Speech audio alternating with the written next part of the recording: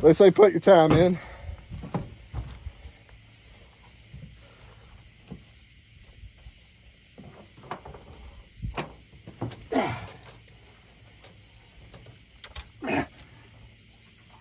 Ah! 35 pounder. Let's let him go.